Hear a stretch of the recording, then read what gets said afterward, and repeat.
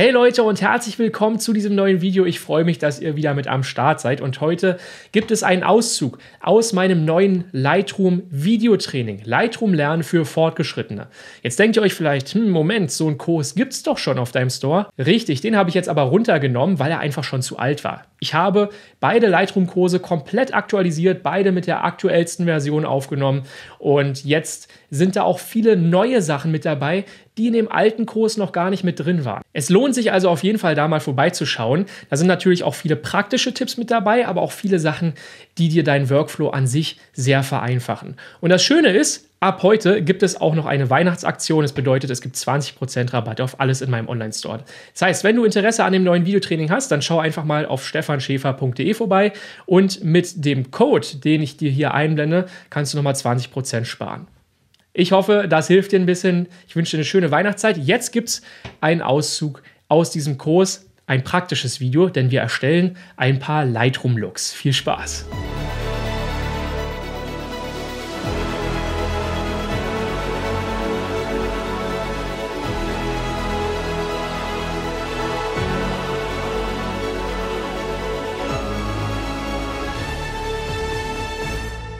Lass uns doch mal mit etwas Moodyhaften anfangen. Ich habe hier mal die Burg Els fotografiert. Das ist schon wieder zwei, drei Jahre her ungefähr. Ich glaube, zwei Jahre ist es her. Und da anhand dieses Beispiels können wir ja mal so eine Art Moody-Look erstellen, alles ein bisschen dunkler machen, alles ein bisschen mystischer machen und einfach mal gucken, wohin uns das führt. Logischerweise, ähm, dadurch, dass ich meine Import-Option hier schon drin hatte, Profilkorrekturen und chromatische Aberrationen hier wurden schon angewählt, die Checkboxen. Genauso hier habe ich auch schon das Bild quasi automatisch schärfen lassen. Das ist aber auch nicht weiter wichtig. Wichtig ist vielmehr, dass wir jetzt mal anfangen, erstmal so grundsätzlich so einen Look zu erstellen. Und da möchte ich auch gleich mal auf den ersten Fehler eingehen, den viele machen, und zwar, dass man hier die Farbtemperatur mit einstellt. Die ist nämlich von jedem Bild immer ein bisschen unterschiedlich und von daher ist es da relativ schwierig zu sagen, das sollte mit in so ein Preset rein. Das würde ich dir also nicht empfehlen. Ähm, genauso mit der Belichtung ist auch immer so eine Sache, weil natürlich Bilder unterschiedlich belichtet sein können. Sowas also die Farbtemperatur und die Belichtung würde ich immer erst dann nochmal manuell einstellen. Wir können das jetzt hiermit bearbeiten in diesem Bild, aber wenn wir dann das Preset abspeichern, dann sollten wir darauf achten, dass diese beiden Checkboxen nicht mit dabei sind. Nur so viel für den Anfang. Wir können aber gleich mal die Belichtung ein bisschen runtersetzen. Ne? Das speichern wir dann am Ende einfach, wie gesagt, nicht in das Preset mit ab, weil es kann ja auch Bilder dann geben, die sind dunkler belichtet und dann würde das komplett dunkel aussehen, ähm, das Bild, und das würde ja dann nicht wirklich Sinn machen. Okay, wenn wir also hier noch die Lichter noch ein bisschen runterdrehen, äh, ich würde auch die Tiefen hier noch ein kleines bisschen weiter runterdrehen und auch die Weißwerte, die packen wir mal richtig weit runter, packen wir sie mal so auf minus 70 ungefähr. Ja, und die Schwarzwerte packen wir mal auf minus 15. Okay. Jetzt ist das Ganze schon ein bisschen moodyhafter. Wir können dem Ganzen auch ein bisschen Klarheit mit dazugeben. Die packen wir mal so auf plus 20 ungefähr. Dunst entfernen würde ich hier an dieser Stelle mal ein bisschen ins Negative packen. Dadurch kriegt das ganze Bild ein bisschen mehr Moody-Stimmung noch. Und natürlich auch Kontrast. Kontrast kann hier auch gut mit rein. Den setzen wir so auf plus 20 ungefähr. Was außerdem so ein Moody-Bild noch ausmacht, ist, dass es auf jeden Fall weniger Sättigung hat. Deswegen ziehe ich jetzt hier die Sättigung mal relativ stark raus ungefähr auf minus 20 insgesamt. Und dann gehen wir als nächstes in die HSL-Tabelle rein und werden jetzt hier mal gucken, dass wir auch weiter hier noch die Sättigung in anderen Bereichen rausnehmen. Wie zum Beispiel Magenta und Lila. Da brauche ich Sättigung eigentlich so gut wie gar nicht drin. Ähm, ich möchte diesen Moody-Look jetzt hier mal so ein bisschen auf die grünen und gelb- und orangetöne so ein bisschen beschränken. Das heißt, alles andere nehmen wir hier mal so ein bisschen raus. Also auch die Blau, und Aquamarintöne, die können hier noch so ein bisschen rausgenommen werden. Ähm, dafür das Grün, ja, das packen wir ein ganz kleines bisschen runter, aber nicht viel. So. Dann gehen wir als nächstes runter in die Luminanz. Und hier können wir jetzt auch nochmal das Ganze ein bisschen verändern. Wir können also die Grüntöne und die Gelbtöne hier mal noch ein bisschen dunkler machen. Auch die Orangetöne können hier noch ein bisschen dunkler. Die Rottöne, ne? das sieht soweit schon ganz gut aus. Und auch die Blautöne, die möchte ich hier noch relativ weit runternehmen. Wir haben hier oben gerade relativ viele Blautöne drin. Das kann alles noch ein bisschen dunkler. Ja, nicht ganz so viel, aber so ein bisschen. Okay. In dem Farbton, da möchte ich mal das Grün hier noch so ein bisschen bearbeiten. Ich möchte das Gelb auch noch so ein bisschen weiter Richtung Grün schieben. Das sieht eigentlich ganz gut aus. Das Orange noch ein kleines bisschen weiter Richtung Rot. Und damit haben wir hier schon einen ganz guten Effekt, wie ich finde. Dann als nächstes gehen wir in die Gradationskurve rein. Und für so einen Moody-Look bin ich auch immer ein großer Freund davon, die Schwarztöne so ein bisschen abzudunkeln und dann gleichzeitig aber sehr viel Kontrast hier unten in die dunklen Bildbereiche reinzupacken. Die hellen Bildbereiche können ruhig noch ein bisschen heller, deswegen ziehe ich die Kurve hier wieder so ein bisschen weiter nach oben.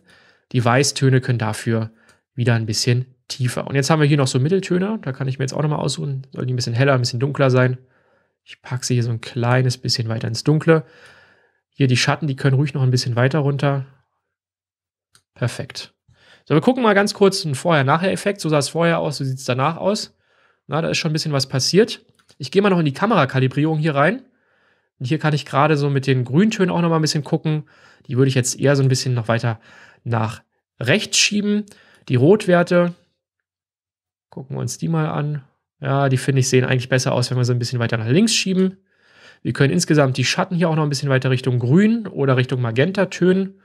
Auch die möchte ich eher so ein bisschen weiter Richtung Grün hier noch schieben. Und dann gucken wir uns noch die Blauwerte an. Ja, die möchte ich jetzt eigentlich nicht so sehr verändern. Das gefällt mir so schon mal richtig gut. Jetzt können wir noch ins Color Grading als letztes reingehen. Und äh, auf jeden Fall die Lichter, die möchte ich so ein bisschen Richtung Orange-Werte hier schieben. Orange-Gelb-Töne, sage ich mal. Ja, das gefällt mir hier schon ganz gut. Scrollen wir hier mal ein bisschen weiter runter. Und ähm, die Schatten, die sollen auf jeden Fall so was zwischen Grün und Blau bekommen hier. Also eher Richtung Grün. So, jetzt kann ich hier die Grüntöne auch noch ein bisschen dunkler machen. Das ist auch viel zu viel jetzt hier schon. Ähm, da müssen wir also auf jeden Fall hier nochmal in die Schatten an sich reingehen und hier die Sättigung nochmal ein bisschen runterstellen, weil das einfach zu doll ist. Ja, und die Luminanz auch nicht zu doll runterstellen. Minus 20 reicht vollkommen aus. So, jetzt gucken wir nochmal, was das Color Grading gemacht hat. Ja, das finde ich auch nochmal richtig gut, richtig stark, was hier nochmal rumgekommen ist. Die Mitteltöne können wir noch einstellen. Packen wir die mal auch in so ein, na, müssen wir mal gucken hier, vielleicht so ein bisschen gelblicher. So ein Zwischending zwischen Gelb und Grün. Sättigung kann ein bisschen weiter runter.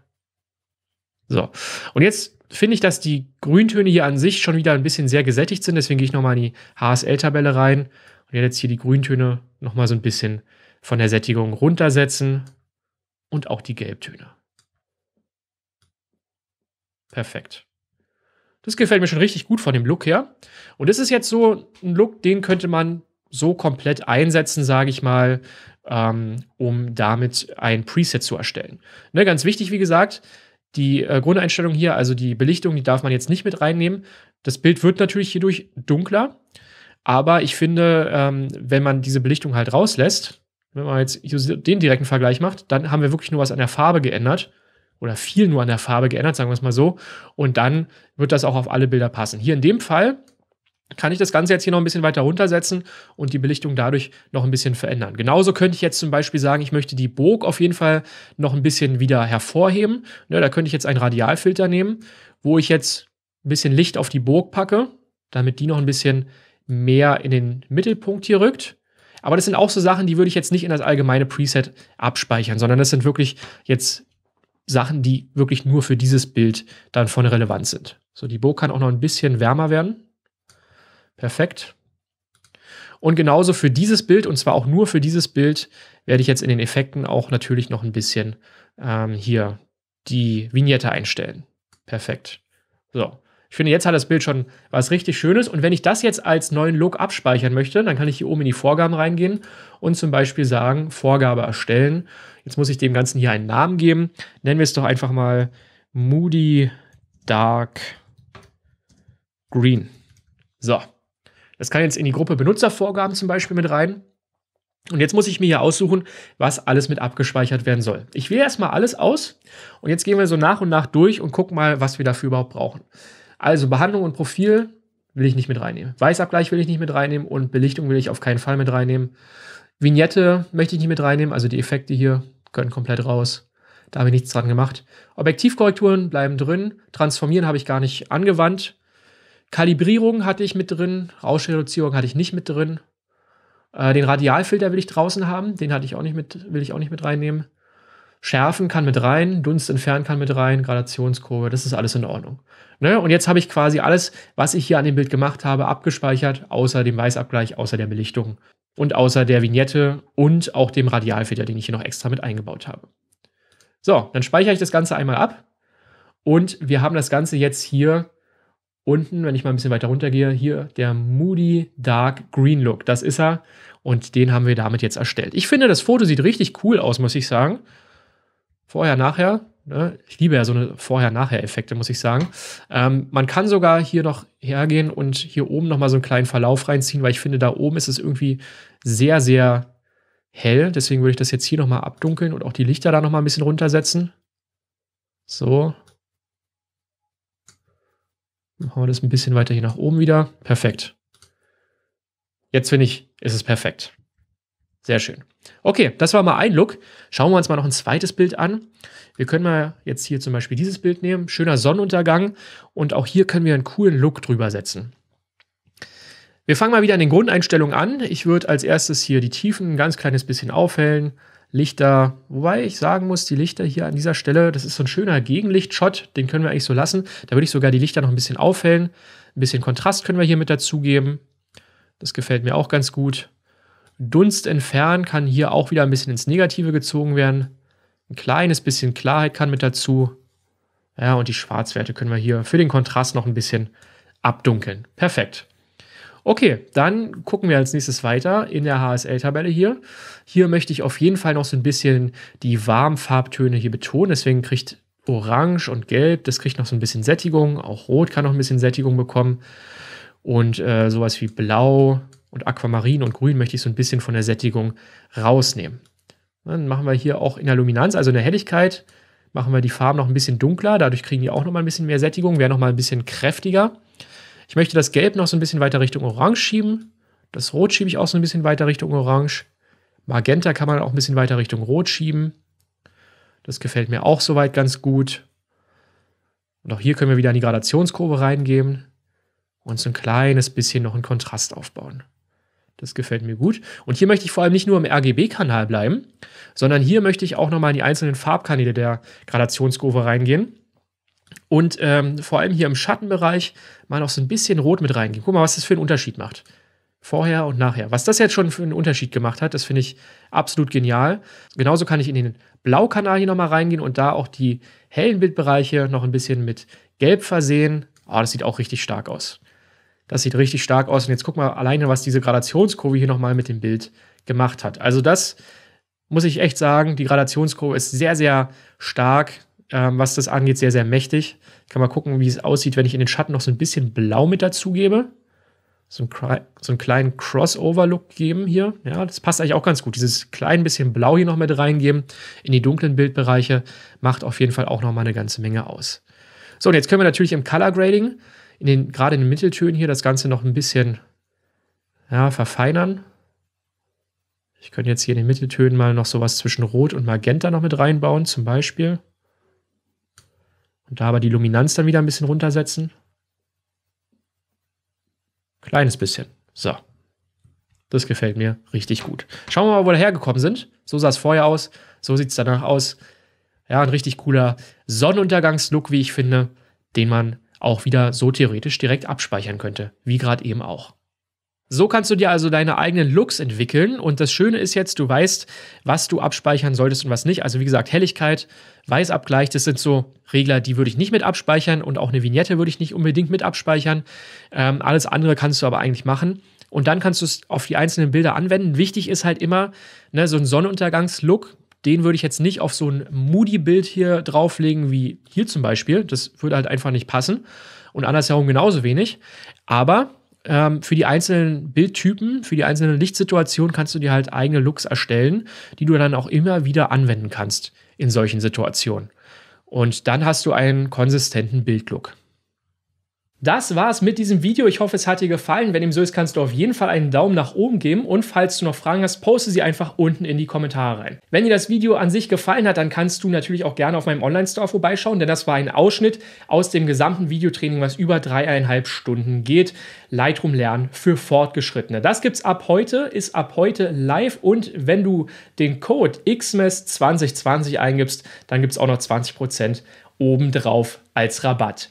Und ansonsten gibt es auch noch, und zwar, wenn du noch bis Montagabend bestellst, also bis zum 14.12., dann kommen die auch noch rechtzeitig zu Weihnachten an. T-Shirts, Hoodies und so weiter von Landscape Hunter. Da kannst du auch mal auf dem Shop vorbeischauen, www.landscape-hunter.com.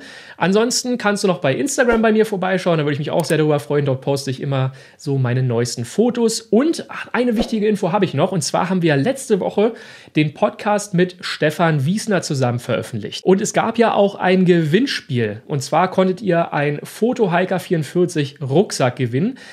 Wir werden das heute Abend auflösen, dieses Gewinnspiel. Um 18 Uhr werden wir da einen Gewinner auslosen. Das heißt, wenn du dieses Video jetzt noch rechtzeitig gucken solltest und noch nicht darunter kommentiert hast unter dem Podcast, dann ist jetzt noch deine Chance dazu. Heute Abend, also am 13.12.2020 um 18 Uhr, werden wir den Gewinner bekannt geben. Da kannst du einfach mal dann auf dem Community-Tab bei mir vorbeischauen. Dort werde ich das Ganze dann entsprechend posten. Ansonsten wünsche ich dir jetzt eine wunderschöne Weihnachtszeit und ich hoffe, wir sehen uns in einem der nächsten Videos wieder. Bis dahin, ciao.